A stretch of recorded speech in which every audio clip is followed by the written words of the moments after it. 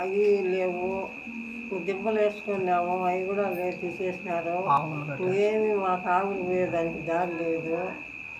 అందుకని అంతా ఇల్లు స్థలం కూడా నలుగురు ఉంటే ఇద్దరికి ఉంటే ఇద్దరికి స్థలాలు లేవు.